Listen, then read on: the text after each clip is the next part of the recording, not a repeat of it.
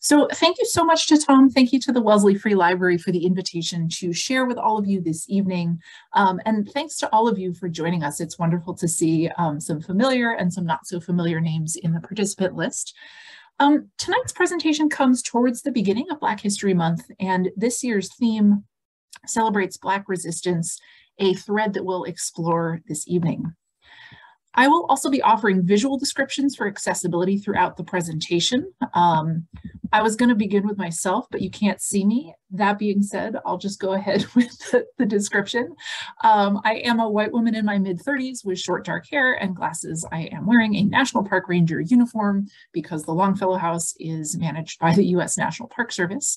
Um, and my opening slide displays the name of the presentation, which is taken in part from a Phillis Wheatley poem, Freedom's Cause, historical Black communities, and George Washington's Cambridge camp. The slide also shows a yellow 50th anniversary uh, logo for the Longfellow House. So to dive right in, this is an area of active research. And we have many incredible partners, historians, community members, descendants who are um, researching this, and we owe quite a bit to. And I'll, I'll make some recommendations as we go about other sources to check out. Um, I am the public programs supervisor at the Longfellow House, so I am not a research historian, but rather I am a practitioner of public history, helping folks to consider the complexities of the past, and again, always learning myself. This is an image of Longfellow House Washington's headquarters as it stands today on a you know, beautiful summer day. It is a yellow 18th century Georgian mansion surrounded by green lawn and I hope that many of you have had the chance to visit us in Cambridge. And uh, please stop by during our open season, which will begin on May 26th this year. So the way that we understand and talk about history directly informs the actions that we take in our present. And tonight, I'd like to embrace a call from the American Association for State and Local History to build a more productive conversation about history. Um, this is a, a statement that they've made, a call that they've made in a recent report. And this includes the practice of moving away from focusing on an idea of history as abstract truth to one of ongoing critical engagement. And historic places can be part of helping us to do this. So as a little aside, like if you asked 10 people, right, to describe their experience in your local community during the historic pandemic that we've been living through, you get a complex picture of 10 different intersecting realities rather than one you know, quote, true narrative of COVID, we would have the opportunity to critically engage with where these 10 different experiences overlap, where they conflict, and where they shed light on one another in unique ways. So tonight, as we consider historical Black community in George Washington's Cambridge camp, I'd love for us to sort of hold that intention of engagement with a complicated web of individual and communal realities and also to acknowledge that there are major archival silences here, uh, that the histories of enslaved and free Black people in our country have often been suppressed in the written record. Uh, this slide shows the front staircase of the Longfellow House with ornate white woodwork and a plaster bust of George Washington looking pensive. So we'll be taking a careful look at George Washington's Cambridge camp, um, and this can help us to grapple with the paradox of liberty in our nation's founding era. Here in Cambridge, Washington took the national stage in his first long-term headquarters of the fight for American independence.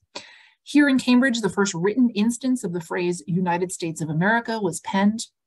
But this headquarters was not George Washington alone. The dozens of others who labored in and around the headquarters in Cambridge represent a complex community of enslaved people, of recently self-emancipated Black laborers, and of white laborers and aides. And so George Washington was an early advocate of independence from England. In 1769, he decried the quote, deprivation of American freedom, Yet George Washington was a lifelong enslaver, first inheriting 10 human beings at the age of 11. When George married the widow Martha Custis, he came into possession of a large amount of land and a large number of human beings. When he arrived at Cambridge headquarters here on Brattle Street in 1775, he was 43 years old and he enslaved um, in Virginia 130 people. To Washington's view, as an enslaver, this didn't necessarily represent a paradox. freedom to him was for white Americans. On this slide are two silhouettes facing each other. One depicts an enslaved woman in the late 18th century wearing a long skirt and holding an infant in front of her. The other depicts an enslaved man shouldering a garden hoe. These images are taken from a series of silhouettes commissioned recently by Mount Vernon based on historical descriptions. No images of the individuals enslaved here um, are believed to exist. For the Black members of the sort of ad hoc Washington's headquarters community, the founding era's calls for freedom were exclusionary, but would also represent a powerful rhetorical tool in the long struggle, struggle for equity and inclusion under the umbrella of American liberty. I'd like to focus in on Cuba, Dinah, Malcolm, William, and three children, James, and two, quote, small boys, whose names are currently unknown. These are seven people known to have been enslaved at 105 Brattle Street in Cambridge, Massachusetts as of 1774, the property that today is Longfellow House Washington's headquarters, um, shortly before George Washington's arrival on site. And here we owe a tremendous amount to our descendant community, uh, to our partners at the Royal House and Slave Quarters Museum in Medford, to History Cambridge, to the Cambridge Black History Project, the Museum of African American History on Beacon Hill, the Harvard Legacy of Slavery um, Commission, and the Descendant-Led Slave Legacy History Coalition um, for collaboratively helping to build this understanding, um, and to many of those partners for really leading the way. So significant ongoing research um, into the lives of these people and uh, their extended communities uh, is there's significant ongoing research, including um, a National Park Service funded study that just kicked off with an incredible research team earlier this week. So this house was first built in 1759 by their enslaver John Vassall Jr., who was heavily invested in Caribbean slavery. He had built this grand Georgian style mansion along the road to Watertown, which today we'll refer to as Brattle Street. The Vassall's financial reliance on slavery was part of a, a regional landscape here in New England, and um, Jared Hardesty, a historian, argues that slavery built New England's economy and also shaped its cultural traditions. In Cambridge, a provincial census in 1754 counted 56 enslaved people. And these were people who formed community and family, um, often with other enslaved people. And enslaved people in colonial New England were sometimes able to carve out a certain degree of, of freedom of movement. This slide shows an iron fireplace backing found in the Longfellow house showing a heraldic sun symbol associated with the enslaver Vassalls in and uh, the year 1759 when the house was built. Um, it will slowly fade out so by the fall of 1774, and we're just going to do a little bit of timelining here before we really dig in. Um, by the fall of 1774, large crowds of angry patriots were regularly seen on Brattle Street, a neighborhood full of wealthy loyalists. The neighborhood's elite white loyalist residents fled to Boston um, late in 1774, and they left behind the people who they enslaved in Cambridge. Today, little is known about Dinah, Malcolm, William, and the children, but Cuba and her husband Tony's lives are better documented. Though their legal status was in flux, um, with their enslavers gone, Tony and Cuba, who eventually used the surname Vassall, reunited their family, including their six children, in freedom on a portion of the former John Vassall estate. So I'll timeline this out real quickly. December 1774, enslaver Vassalls and their neighbors flee. Um, at this point, Cuba and Tony Vassall are able to seize freedom. Uh, they continue living in a, a, separate building on a portion of the former John Vassall estate. Um, by early 1775, armed conflict, uh, the earliest battles of the American Revolution break out. Patriot militias have mobilized. By May of 1775, military companies, uh, three military companies are taking, have taken up residence in the former John Vassall mansion. And in July, the former John Vassall mansion um, becomes the established headquarters of General George Washington, while Tony and Cuba Vassall and their children remain on the property in an adjacent farmhouse, farming for their own livelihood. So, as historian Gloria Whiting describes it, in a span of months, and I'll quote from her here because she really pins it down Tony and Cuba Vassall found themselves living in a militarized town in a rebel colony, sharing an estate with the Patriot Army's commander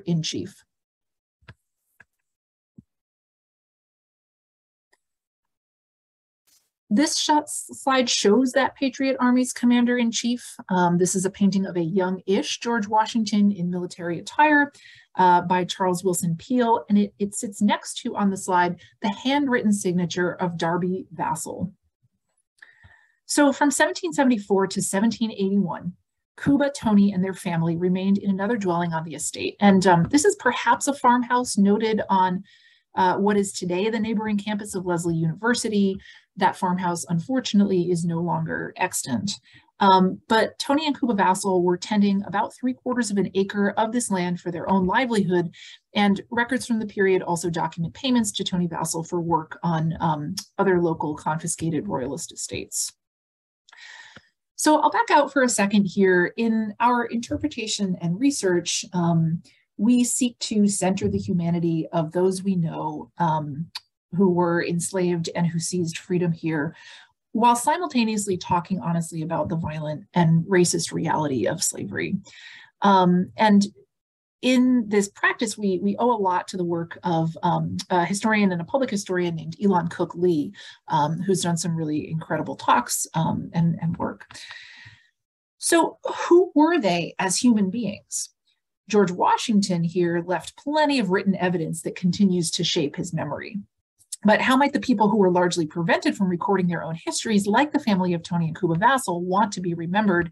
One place to start is the story of an encounter reported to have taken place in the summer of 1775 involving an act of resistance and freedom by a formerly enslaved six-year-old named Darby Vassall, Tony and Cuba's Vassall's son. Um, and Darby Vassall, at the point when this story takes place, the summer of 1775, Darby Vassall had recently been reunited with his parents following a separation at the hands of their now gone enslavers. Um, this story, which was first recorded after Darby Vassall's death, described a six-year-old child, Darby Vassall, outside at headquarters when General George Washington walked up to him and told him to go inside the house and get to work. And Darby Vassall, in turn, refused to work for no pay. While the veracity of this historical encounter is unclear, the narrative power of a formerly enslaved child standing up to the general is unmistakable. In the account, uh, Darby Vassall later described George Washington as, quote, no gentleman. He wanted a boy to work without wages. This slide shows a Currier and Ives print of George Washington taking command of the army on the Cambridge Common. Washington is on a horse under a tree, flanked by officers and faced by hundreds of orderly white soldiers shouldering bayonets.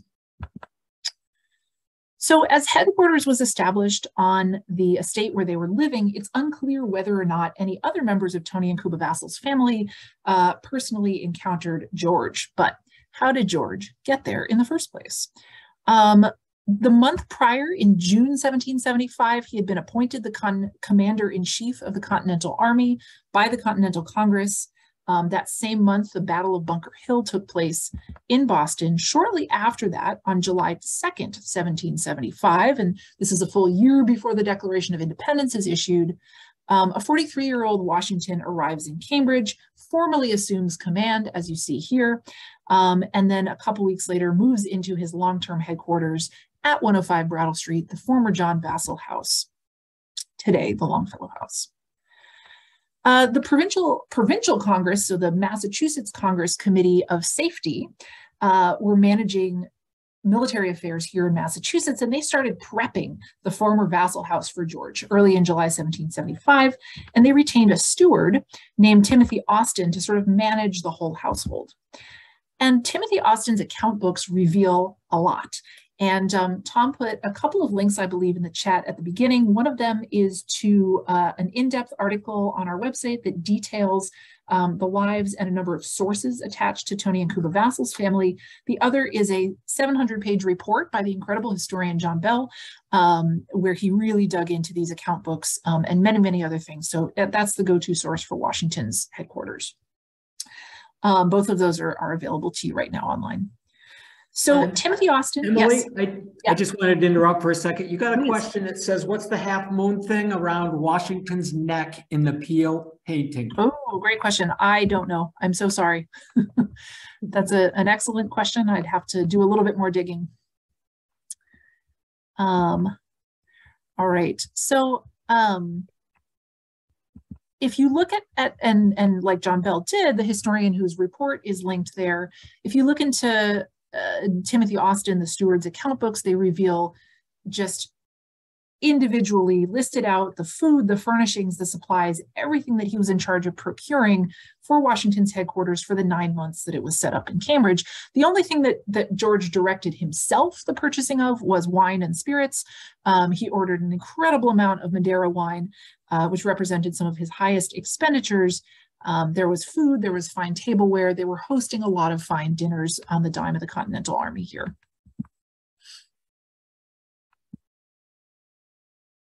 So the next slide shows a, a 19th century painting titled Lady Washington's Arrival. This um, is an imagined uh, rendering of Martha Washington arriving at Cambridge headquarters in the winter of 1775.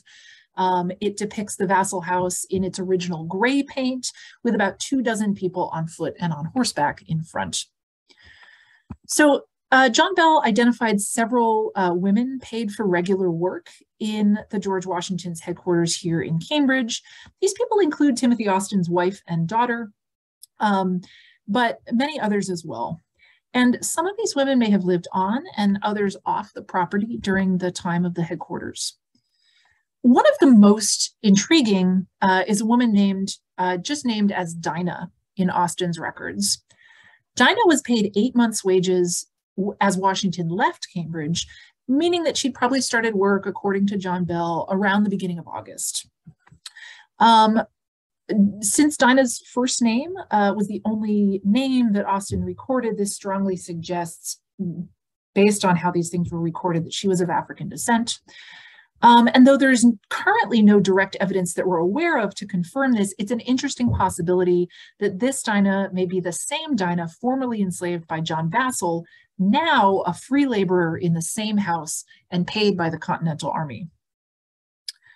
There are three other women uh, who likely worked alongside Dinah. They were likely white on account of their full names being recorded by Austin. These were Mrs. Morrison, the kitchen woman, Elizabeth Chapman, and a laundress named Mary Kettle. There, Austin also recorded an unnamed woman or women who he paid for cleaning the house. He recorded paying Margaret Thomas, a free Black woman, um, for sewing three shirts for William Lee, a man who was enslaved by George Washington in the winter of 1776. And we'll talk a little bit more in detail about her later. Austin's accounts also mention a man named Peter, um, who was most likely also of African descent and worked in the stables. These documents also mention a coachman uh, with no name attached, but it's possible that this could have been Tony Vassall, who had been a coachman while enslaved and who continued to work with horses in his period of freedom. Um, neither Austin's notebooks nor Washington's notebooks mention make any mention of Tony and Cuba Vassall and their children, but according to later testimony, it's clear that they were present. They may have been farming for themselves in parts of the then 100 acre Vassall estates be, beyond Washington's headquarters building, or that they were forced to serve Washington, or that they appear anonymously, say, as the coachman. Oops, skipped ahead there. Um, just briefly, Washington was also surrounded by a number of his generals, a secretary, and three aides de camp at any given time, and just a rotating list of visiting dignitaries. Uh, ultimately, he would spend nine months in Cambridge. He, while here, was charged with turning the very sort of informally trained and localized New England militias into a unified fighting force that could match and drive the British Army out of Boston. Um, as an enslaver, Washington was really shocked to find a racially integrated army in Massachusetts. And in one of his first major decisions here, removed Black soldiers from the military. Some generals disagreed with him, and many of the soldiers themselves advocated for their right to fight. But when contracts for the Continental Army soldiers expired at the end of 1775, Washington faced an enlistment crisis and quite a bit of low morale. Uh, at this point, he made a calculated decision to reintegrate the Continental Army to allow Black soldiers back to fight for the cause. And as a result, the army fighting for American liberty from England is becomes the most racially integrated the US Army was um, until the Korean War in the mid 20th century. And this was free Black men, many of them recently enslaved, fighting, uh, including folks like the famed soldier and later activist Prince Hall, whose family would become close with Tony and Cuba Vassalls. This slide shows a John Trumbull painting um, painted around 1780, so just a few years after Washington's Cambridge headquarters. And it shows um, a middle-aged George Washington and William Lee. It depicts William Lee in stylized dress with a red head covering. This is the only known image of Lee, and the slide will, slide will transition to a cropped close-up of Lee. So I'd like to shift the focus to William Lee now, um, and also to, to reckon a little bit with George Washington's identity as an enslaver. By the time of Washington's death, ultimately in 1799, uh, he and Martha enslaved over 300 people at Mount Vernon. And over the course of his lifetime, at least 47 people tried to self-emancipate from George. George purchased William Lee and William Lee's brother Frank in 1768 and brought them to Mount Vernon. William Lee was just 18 years old and his Frank 15. For two decades, William Lee was made to accompany Washington nearly everywhere, including Cambridge headquarters. He was about 25 years old when he arrived in Cambridge. He's been described as Washington's valet or manservant, and Lee had to do everything from delivering messages to organizing papers, holding Washington's spyglass, laying out his clothes, helping him dress. Uh, Lee suffered some very serious knee injuries in the 1780s and was the only person to be directly freed upon Washington's death and provided a $30 pension.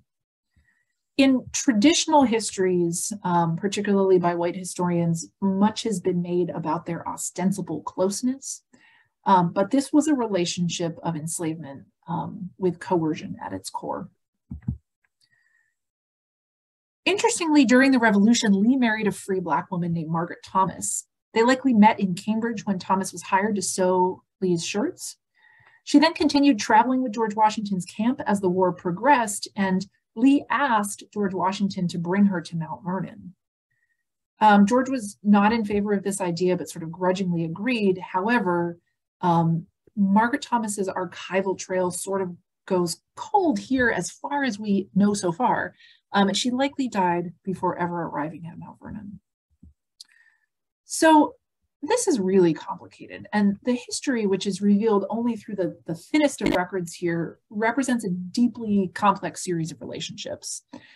Enslaved families were often forced to live apart, and it was not completely unheard of for Black families in New England to even contain some free and some enslaved members. I wonder what it was like for William Lee to interact with free Black community members like Thomas, um, potentially like Tony and Cuba Vassall. They were here beginning to carve out their own freedom. How might forming a family with a free Northern Black woman affect Lee, enslaved by one of the nation's most powerful men? Thomas herself would have been deeply aware of the risks she took by forming this family and by agreeing to go to Mount Vernon? And why did George Washington acquiesce to her presence? These are questions that I don't have conclusive historical or emotional answers to. Um, and I'd like to examine one more complex exchange before we conclude that may raise um, more questions than answers as well. This slide shows an engraving of Phillis Wheatley, a young Black woman seated with quill and paper in an 18th century dress. This uh, engraving appears in her 1773 book, Poems on Various Subjects, Religious and Moral. So in October 1775, likely shortly before Lee and Thomas met, the newly emancipated 22-year-old published Black poet Phillis Wheatley wrote a letter to George Washington at Cambridge headquarters. She wrote uh, in part, Sir, I have taken the freedom to address your excellency in the enclosed poem. You being appointed by the Grand Continental Congress to be generalissimo of the armies of North America, together with the fame of your virtues, excite sensations not easy to suppress. The poem concluded with the following words that are on the screen now. Proceed, great chief, with virtue on thy side. Thy every action let the goddess guide. A crown, a mansion, and a throne that shine, with gold unfading, Washington be thine. Uh, prior to this poem, Wheatley had written um, a, a, book of poetry. She wrote on religious and moral subjects. She also wrote about her abhorrence of slavery and experience of being kidnapped from her family in West Africa at the age of seven. When George Washington eventually replied to Phillis Wheatley, um, again, John Bell, in this great report that uh, we've linked for you, noted that he had no practice in addressing a learned Black woman. Even the salutation in George Washington's letter was a challenge. Normally, George Washington might refer to a Black woman by her first name only, uh, but he knew to address an unmarried lady as Miss last name. So in February, Washington wrote back and he sought a middle ground, addressing her as Miss Phillis. He wrote, I thank you most sincerely for your polite notice of me in the elegant lines you enclosed, and however undeserving I may, the style and grammar, uh, style and manner exhibit a striking proof of your great poetical talents. I would have published the poem had I not be, been apprehensive that while I only meant to give the world this new instance of your genius, I might have incurred the imputation of vanity. If you should ever come to Cambridge or near headquarters, I shall be happy to see a person so favored by the muses, and to whom nature has been so liberal and beneficent in her dispensations, I am, with great respect, your obedient, humble servant, G. Washington. So, this poem was very flattering, um, and George Washington really liked it. He had a lot of feigned modesty here. He later heavily hinted to an aide that it really should be published to the public, um, and so his aide published it. The humble servant sign-off was, was really common in 18th century correspondence, but nevertheless, it is striking to see Washington, who enslaved hundreds and harbored deeply racist views, use it when addressing the recently enslaved Wheatley. There is no proof, despite rumors, um, unfortunately, that Wheatley ever visited headquarters.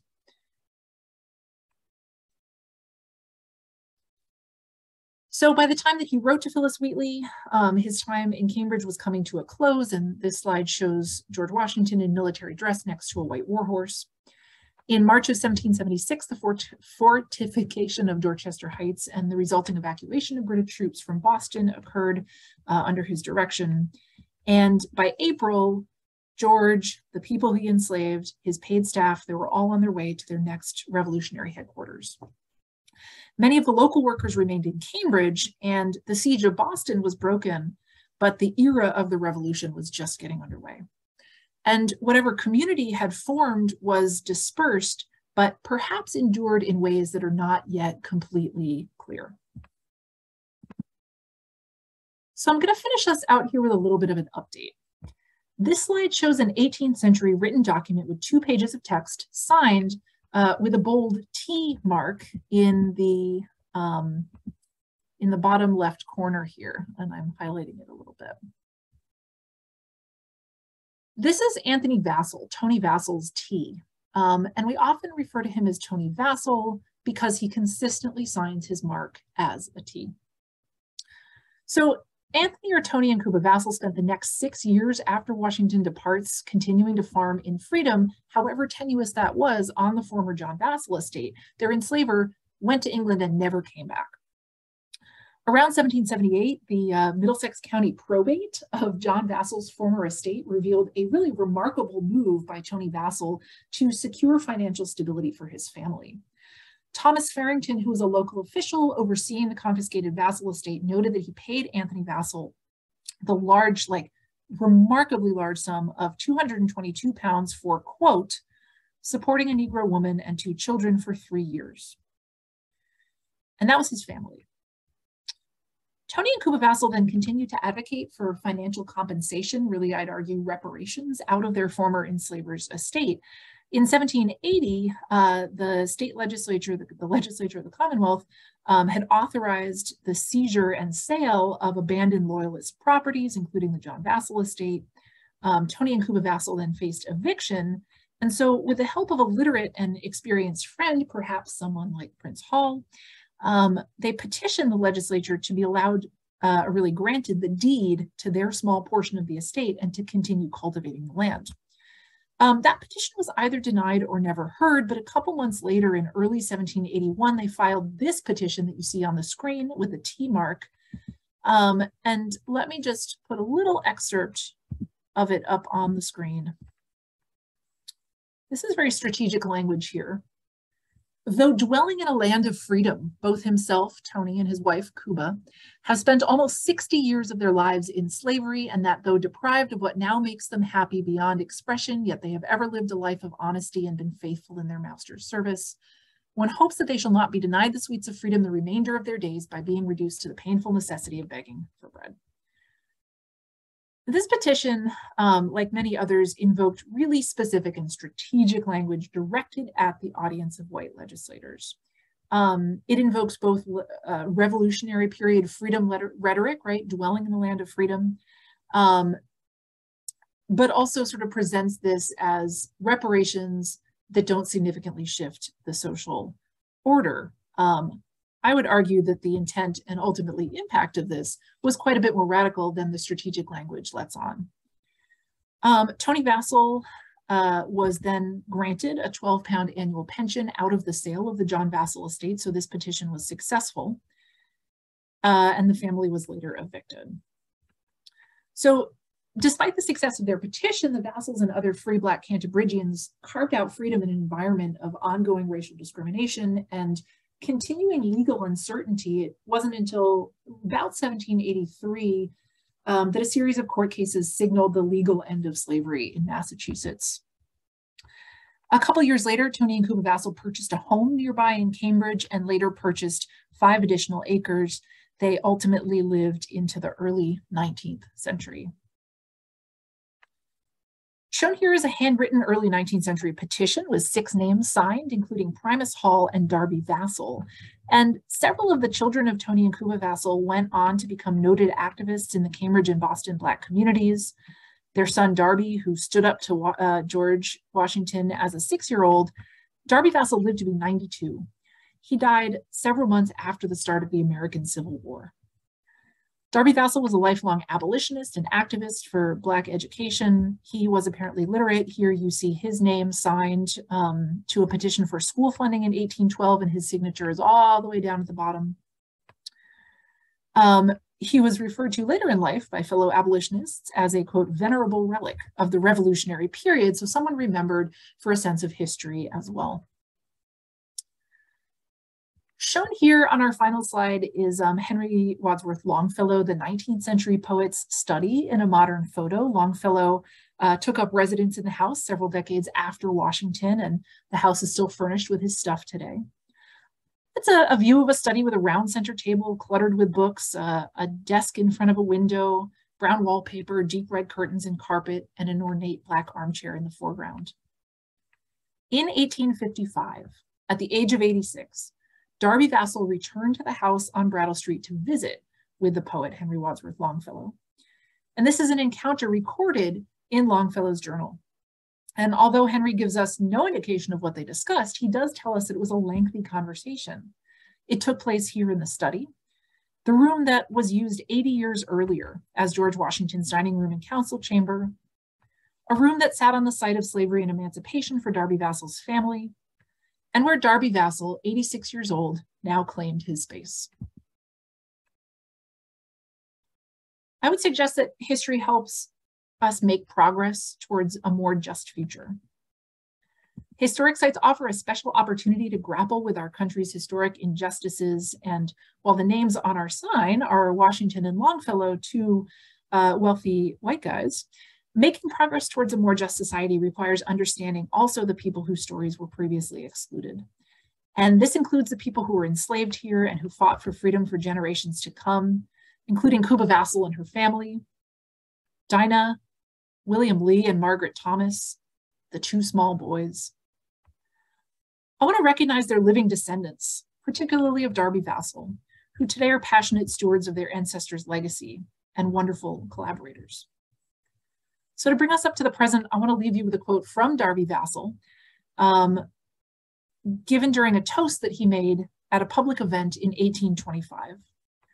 And in this toast, Darby Vassall looked forward to, quote, the time when the color of a man shall no longer be a pretext for depriving him of his liberty. And we will conclude the presentation here. And I would be very happy to hear your questions. Thank you very much, Emily. I just, I just think I figured out why your video wasn't working. Sorry, I didn't figure it out during, but thanks for the talk. And there are six people who chimed in with the answer. oh, the incredible. I'm looking at it right now. This is great. I'm going to save these and, and study up. This is the beauty of a, you know, when the, the synergies of, a, of an event. We'll all learn something. So Oh, very interesting, Beth. So you can see the last uh, question, two obits connecting Black men of Salem to service with George Washington.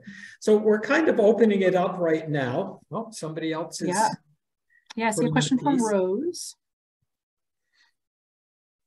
Um, so Rose Doherty asks, why were Tony and Cuba um, evicted? This is a great question. So they were ultimately evicted from the former Vassall estate in 1781 because the Commonwealth of Massachusetts um, was auctioning all of these abandoned uh, Tory loyalist estates. So after the revolution, the Commonwealth, essentially eminent domain, they seize all of these properties, they start to sell them. Um, and so in 1781, that's the year that this the Vassall mansion all of the outbuildings and all of the 100 acres of land were sold to a new owner. Um, at that point, Tony and Cuba and their family were evicted from the land. Um, with the pension, they and the and the earlier payment out of the Vassall estate that they had advocated for, they were ultimately able to buy five acres and a, a home near the Cambridge Common. Uh, there are about five years intervening where we're not exactly sure where they were living. And um, our archivist actually recently identified a land record that shows at least Tony Vassall appearing for a brief time in the Boston household of a short-term owner of the Vassall estate. So there's a lot of really complicated movement um, going on here, but essentially this property was sold. Um, and because their first petition to be able to stay on the land and actually own a piece of the land was denied, um, they, they were evicted. Thank you for asking.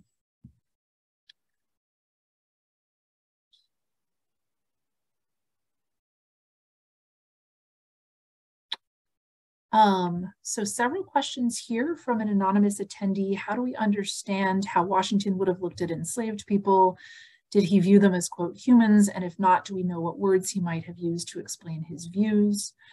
Um, I will say, so there's a, there's a lot of really, really good work that's been done on this and, and Mount Vernon um, as in its current form as a mu museum and research center um, have worked with a lot of historians and interpreters to do some really thoughtful work on the lives of enslaved people um, and also sort of grappling with Washington's views and identity as an enslaver.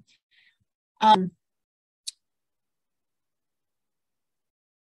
I, I hesitate to, to comment in great detail on Washington's views because I'm not as familiar with his, with his writings on the subject. Um, he all i will say on this is that again he was a lifelong enslaver he was served by enslaved people from birth he became a, an enslaver uh, at the age of 11 and the number of people who he enslaved grew over his lifetime. He um, he did not hesitate um, to sell people away from their families as a punishment um, and sort of all of these tactics that are utilized um, by enslavers to both really dehumanize the people who they enslave um, and to sort of prey upon and manipulate some of the most human aspects of us, right? So family, community. Um, there's again, there's been a lot of really thoughtful writing on his views, and so I'll see if we can pop some more sources in there. Um, I feel a little bit better qualified to comment on the next two. So how do we know, uh, do we know how he would have explained not paying an enslaved child? Um, so this, in, I assume that you're referring to the encounter with six-year-old Darby Vassall. Darby Vassall, at the age of six, was free. Um, he had actually been separated from his parents as an infant by their enslaver given to another enslaver in South Woburn. Um, that man died at the Battle of Bunker Hill, likely leaving a six-year-old Darby Vassall to somehow return to his parents. And this is where I think about the level of community and connection and networking that Cuba and Tony Vassall had um, to, to be able to get their son back. So when Darby Vassall encountered George Washington, he's a very free, recently freed child. Um, and his, his family is in, in a similar situation. So according to this anecdote, again, which is, you know, has, has wonderful elements of storytelling, uh, Darby Vassall says that he asked George Washington, how much are you going to pay me? Washington was very taken aback at the idea of paying a black child anything, um, refused to pay him, and so Darby Vassall refused to work. Um, that's all that the anecdote tells us, but again, Washington was not accustomed in his life to paying Black people for their labor. Um, a horrible question in today's dollars, how much would have Washington paid for a human? Um, this is well documented um, in his records as well. For example, I believe he paid about 68 pounds for William Lee, an 18 year old. Um, and this varies widely. Again, it's a horrible, horrible thing to contemplate, um, the valuation of, of people. Um, but that is well documented at Mount Vernon.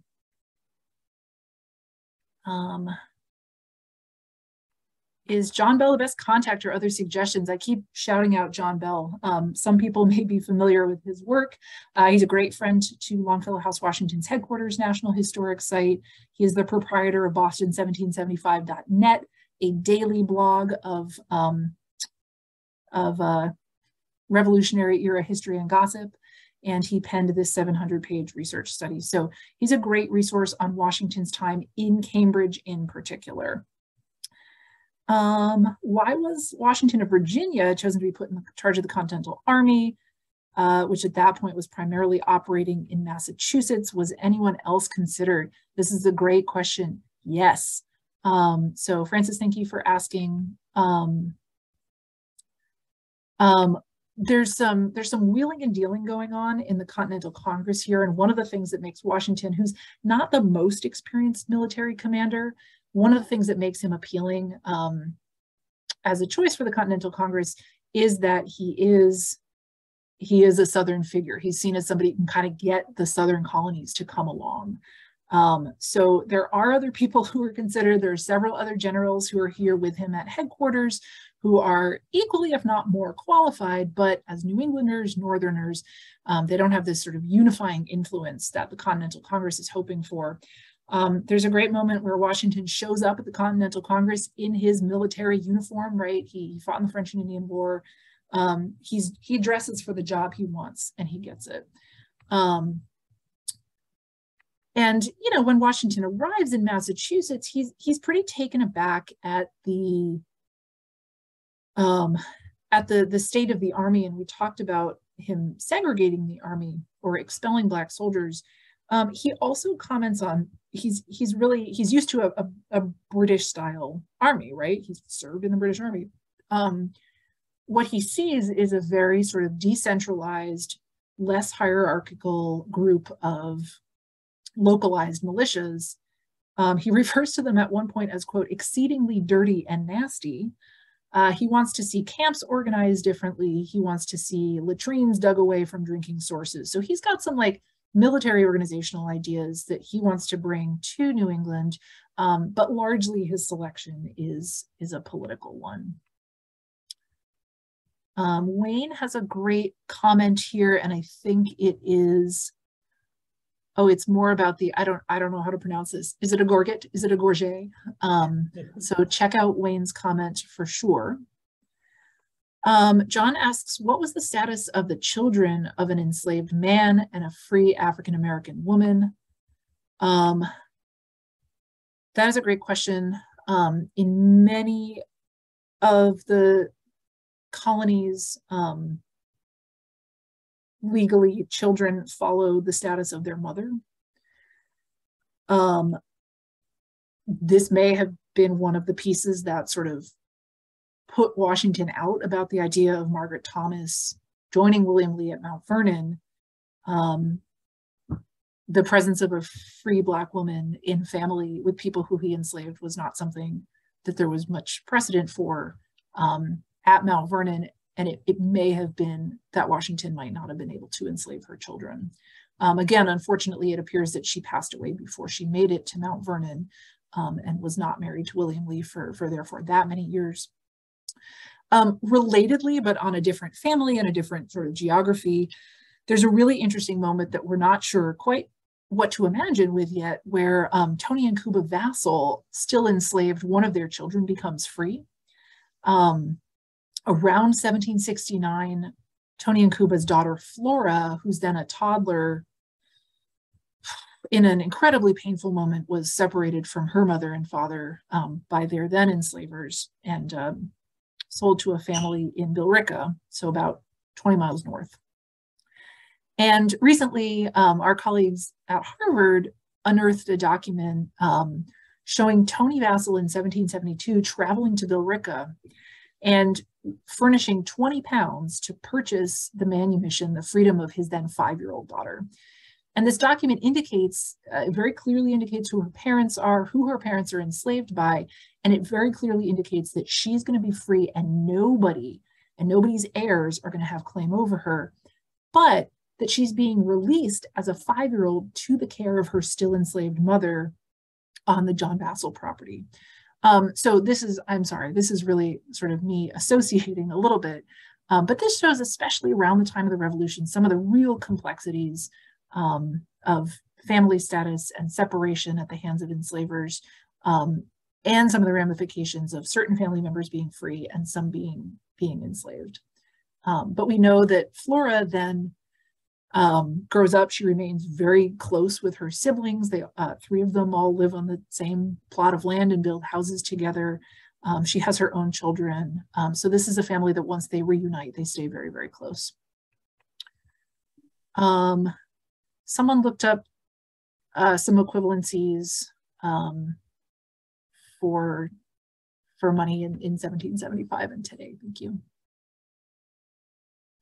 Other questions or, or comments? Um, anything that's sort of sparking for folks? Or any questions that I missed? Mm -hmm.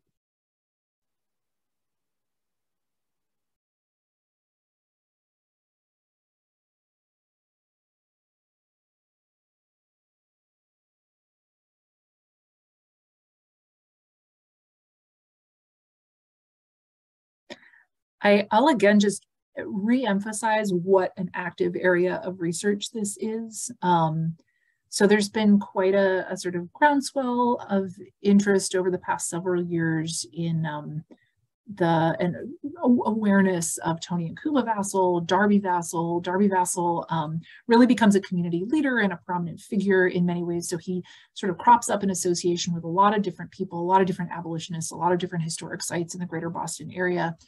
Um, and there, there's a, a, great recent online exhibit from the Museum of African American History uh, called We Reclaim Space um, that has to do with Darby Vassall um, and his life. There's an incredible project that was done in conjunction with Christ Church, uh, Harvard, and some of Darby Vassall's descendants called Here Lies Darby Vassall, which sort of thinks about memorialization and his final resting place, which is at Christ Church in Cambridge, um, complicatedly in the tomb of Henry Vassall, um, a different white enslaver Vassall who once enslaved his parents. And um, Darby Vassall later in life was sort of given permission to be buried there um, and for his own reasons chose to do so. Um, this makes him the only member of his family whose grave we can identify. Um, we know where he is his descendants know where he is. So there's there's a just a, a, proliferation of really exciting research going on. Um, a lot of this again builds on if I have one recommendation, it is to check out the work of the, the Royal House and Slave Quarters in Medford. This is an incredible Black-led institution. It's the only identified freestanding slave quarters in New England. Um, and they've, over the past decade or more, just totally reoriented their research and interpretation to um, do some of the best work on New England slavery um, in the in the House Museum world. So please check out the Royal House and Slave Quarters in Medford. Um, that's actually a site where Cuba Vassall as a child was enslaved. So there are a lot of like direct community connections as well. Um, and as I said earlier this week, we just kicked off uh, a scholarly study that'll take the next three years looking into some of this history. Um, some folks may have seen the headline in the Globe yesterday about an incredible report done by Harvard doctoral fellow um, Abid Alibai, um, who's also working with the Royal House. He did a great presentation at uh, First Church in Roxbury about people enslaved by members of that congregation historically. Um, and then this morning I came in and our archivist had pulled a 10 page uh, deposition that Darby Vassall gave in 1835 just in some sort of like unrelated property dispute amongst the heirs of somebody whose property abutted his. So it didn't seem that juicy, but all of a sudden, here's 10 pages of Darby Vassall in his own words on our screens that we know some of our colleagues had seen before, but that was a that was a new thing for us and allowed us to spark some new connections. So um, just stay, all of this is to say, I'm a little too excited about it. Um, and please stay with us as, as these stories continue to emerge and as they continue to connect to places like Wellesley, um, places like Salem, uh, places like Beacon Hill in Boston and beyond. Um, and please come visit us. We do a deep dive tour of this history every Saturday during our open season. Um, we'll be offering some poetry workshops coming up as well um, that engage um, with uh, the Phillis Wheatley history. Um, so, so a lot of a lot of thought and a lot of research um, and a lot of collaboration going into this. And um, above all, it's the the work of Darby Vassall and Tony and Cuba Vassall's living descendants um, that have really continued to propel this forward. So we, we owe a great deal to them.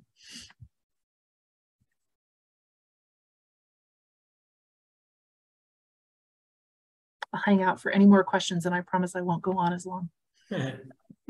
And I'm jumping in here just to uh, tell everybody we've got a few minutes left. If you want to, if you have any other questions, you know, thank you, Emily. Yeah. This was so such a wonderful program. Thank you. I somebody says I'm amazed at the long lives of enslaved people, and it it varies so much. Um, Tony Vassall lived to the reported age of 98, which is pretty extraordinary. Darby Vassall to the age of 92. He um, very sadly outlived all but one of his eight children. Um, his daughter Frances is um, actually married another prominent abolitionist and, and, is the line of descendants there. Um, he outlived most of or all of his siblings as well. Um, but then he had these lifelong friendships too with people like Primus Hall and Prince Hall with his parents. Um, so a lot of a lot of variation in lifespans, but there are some long-lived genes among Tony and Darby Vassall. Cuba lived to be about 78 or 80, I think.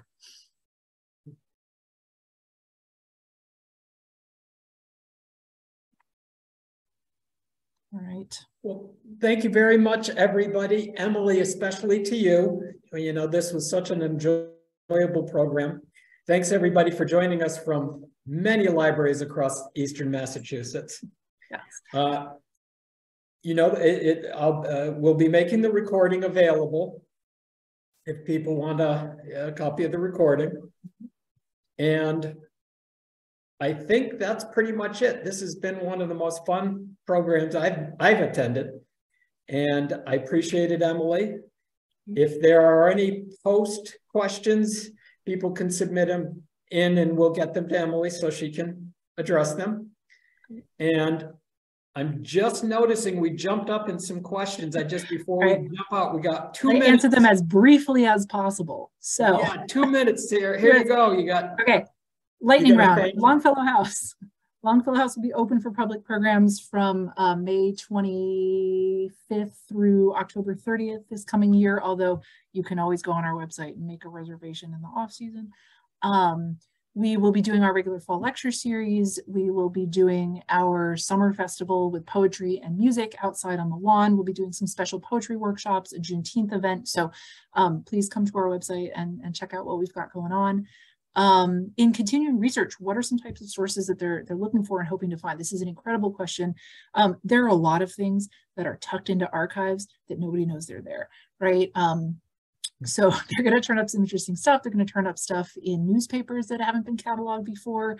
Um, they're also traveling. They're planning to travel to Antigua and Jamaica to look at, at, at, Caribbean records as well. So we're hoping and feeling like after our first meeting, they're going to turn up an incredible amount. So please stay tuned. We'll be releasing information on this. Um, and the last thing I'll say is, yeah, just thank you. Thank you so much to the Wellesley Library. Thank you to the whole consortium of libraries and to all of you. I am the world's biggest library fan. And, uh, you know, if us museum people weren't museums, we'd all want to be in libraries. So thank you so much. oh, that's nice. Thank you so much again, Emily. And thank you, everybody, for taking time out this evening. We're all better for it. Thanks a bunch. And until the next one, everybody keep visiting your local libraries. Take care, everybody.